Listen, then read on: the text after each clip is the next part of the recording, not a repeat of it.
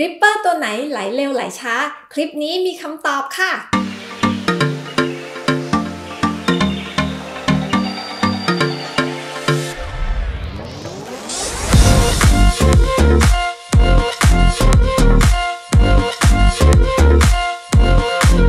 สวัสดีค่ะ บุญช่อง BUNista นะคะมีคนถามมาเรื่องอัตราการไหลของ dripper แต่ละตัว เราเองเนี่ยก็ไม่เคยทดสอบจริงจังค่ะ รู้ตามเขาว่า ตัวไหนไหลเร็ว ตัวไหนไหลช้า แต่เขาที่ว่าเนี่ยเขาไหนก็ไม่รู้นะคะ แล้วคำจำกัดความของเขาว่า ไหลเร็ว ไหลช้าของเขาคืออะไร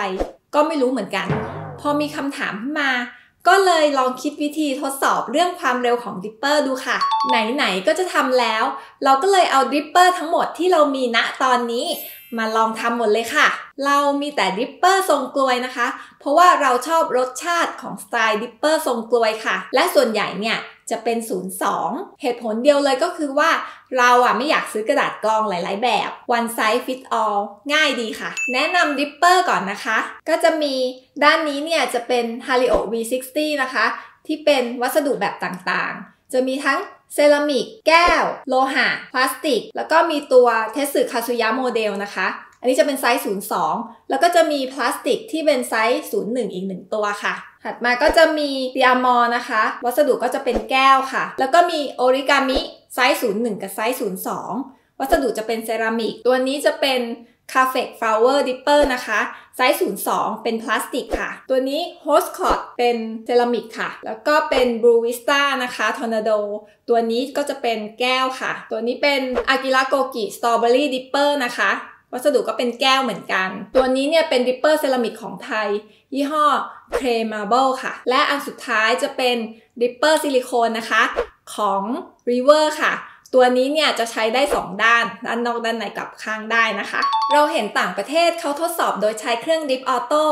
ซึ่งเราไม่มีค่ะ ตัวหนึ่งเนี่ยมันแพงมาก เราก็เลยใช้วิธีในการทดสอบแบบนี้ค่ะ เราใช้เจ้านี่อุปกรณ์ที่ใช้ทั้งหมดก็ตามนี้ค่ะ อันแรกก็จะเป็นแท่น drip นะคะ แล้วก็เครื่องชั่งค่ะ เอาเครื่องชั่งใส่ลงไปตรงนี้ จากนั้นก็เซิร์ฟเวอร์นะคะ ไว้รองน้ำกาแฟค่ะ dripper dripper ก็ใส่ตรงนี้เลย แล้วก็มีกระดาษกรองด้วยนะคะ เราต้องใส่กระดาษกรองลงใน dripper ด้วยนะคะ ถัดมาเนี่ยก็จะเป็นอุปกรณ์ DIY ของเราค่ะ อันนี้นี่มันเป็นที่คล้องจานนะคะแล้วก็วางไปบน dripper แบบนี้ แล้วก็ตัวนี้เป็นที่รอง dripper ค่ะ ตัวนี้เนี่ยเป็นไม้นะคะ มันจะเป็นทรงเดียวกับของ Origami ค่ะ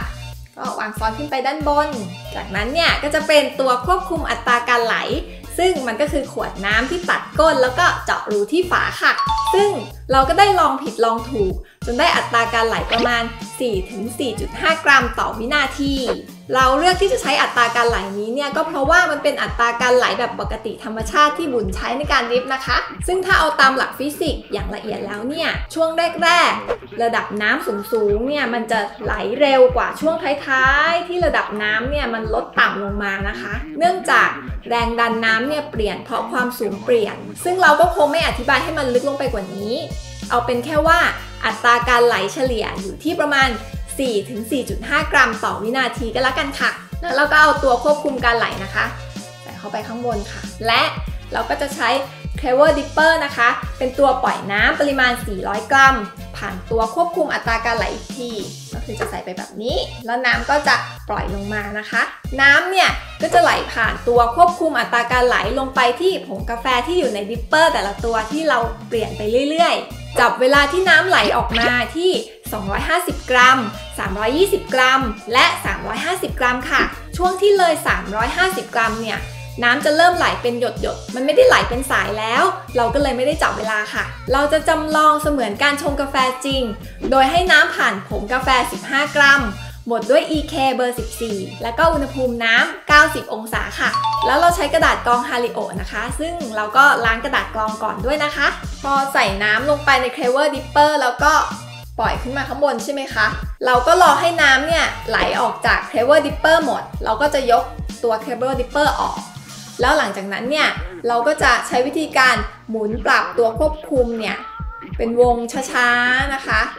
เปรียบเสมือนกับการที่เราชงกาแฟจริง ๆ ค่ะ ไปเรื่อยๆ จนกว่าน้ำจะหมดนะคะ ดูผลได้ใน description box ใต้คลิปนะคะ จากการทดสอบนะคะ มีตัวที่เราคิดว่าน่าสนใจก็เลยจะมาวิเคราะห์ดูค่ะ อันแรกเนี่ยนะคะก็คือตัว h a r i o V60 Plastic ค่ะ ตัว 01 กับ 02 เนี่ยเขาจบต่างกัน 14 วินาที โดยตัว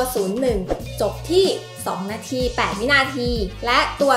02 จบที่ 2 นาที 22 วินาทีค่ะ เราลองสังเกตดูนะคะ จะเห็นเลยว่า 2 ตัวเนี้ยเขามีดีไซน์ที่ต่างกันค่ะ ที่เห็นได้ชัดเลยนะคะ อันแรกก็คือ รูที่ก้น dripper ค่ะ ตัว 01 เนี่ย รูเขาจะเล็กกว่าทำให้กระดาษกรองเนี่ยโผล่ออกมาน้อยค่ะ ถ้ากระดาษโผล่ออกมาเยอะเนี่ย น้ำก็จะไหลช้านะคะ เพราะว่ามันไม่มีลายของ dripper มาเป็นช่องทางไหลของน้ำ ส่วนตัว Coffee Base เนี่ย ถ้าเป็นตัว 01 เนี่ยนะคะ มันก็จะฟูขึ้นมาจนถึงขอบเส้นด้านบน ด้านบนเส้นข้างบนนี่นะคะทำให้ช่วยระบายน้ำได้ให้ไหลเร็วขึ้นค่ะ แต่สำหรับ 02 เนี่ยเขามีส่วนสูงที่มากกว่า ตัว Coffee Base เนี่ยเขาก็จะไม่ฟูขึ้นมาถึงขีดด้านบน ก็เลยทำให้ช้ากว่าค่ะ ตัวถัดมานะคะก็คือ V60 เทสึคาซุยะโมเดลค่ะ ตัวนี้เนี่ยไหลช้าจริงๆ ตามที่เขาเคลมเลย เป็นเพราะว่าก้นของ dripper เนี่ย เขาจะเป็นกลมๆนะคะ ไม่มีรอยหยักเลย เป็นรูกลมๆเฉยๆ และช่วงล่างเนี่ย ช่วงล่างด้านในตรงนี้เนี่ยนะคะ ก็จะเป็นเรียบๆ ไม่มีลายเส้นเป็นทางน้ำไหล มันก็เลยทำให้ไหลช้ามากจริง ๆ ตัวนี้เนี่ยไปดูชัดๆ ได้ในคลิปชง 4 ต่อ 6 นะคะ ส่วนคู่สุดท้ายเนี่ยก็คือ Origami 01 กับ 02 ค่ะ ตัว 02 ของเราเนี่ยมันจะเป็นเวอร์ชั่น 1 นะคะ แต่ตัว 01 เนี่ยเราจะเป็นเวอร์ชั่น 2 ค่ะ ตัวเวอร์ชั่น1เนี่ยตรงนี้นะคะ ยี่ห้อเขาเนี่ยมันจะเป็นสติกเกอร์ติดคำว่า Origami ค่ะ มันแกะออกได้นะคะ แต่ถ้าตัวที่เป็นเวอร์ชัน2เนี่ยเขาจะเป็นลักษณะที่พิมพ์เป็นยี่ห้อ Origami เนี่ยติดมาในตัวเซรามิกเลยค่ะ ตัว 02 เนี่ยเขาจะไหลเร็วกว่านะคะ ทั้งทั้งที่ดีไซน์เนี่ยเหมือนกันหมด ต่างกันแค่ความสูงเห็นไหมเขาเหมือนกันหมดเลย แค่มันสูงต่างกัน มันเป็นเพราะอะไร จากการสันนิษฐานของเรานะคะ เราคิดว่ามันเป็นเพราะระยะเทน้ำค่ะ เนื่องจากว่าตัว 02 เนี่ยมันสูงกว่าใช่ไหมคะ มันก็จะมีระยะระหว่าง Coffee Base เนี่ยจนถึงรูของน้ำที่เราปล่อยลงมาตรงนี้เนี่ยนะคะ สูงกว่าค่ะ สูงกว่าตัว 01ทำให้มีแรงดันมากกว่าค่ะทำให้เกิดการอุดตันเนี่ยน้อยกว่า มันก็เลยไหลเร็วกว่า แล้วเพื่อนๆ คิดว่ายังไงกันบ้างคะ เห็นด้วยไหมคะว่า รูปทรงและดีไซน์ของดิปเปอร์เนี่ยมันมีผลต่ออัตราการไหลจริง ๆ คลิปนี้เนี่ยเราไม่ได้ทำเพื่อเปรียบเทียบว่าตัวไหนดีกว่ากัน หรือว่าให้รสชาติแบบไหน มันอยู่ที่ตัวเราค่ะ ว่าเราชอบ แล้วเราก็เลือกใช้ตัวไหน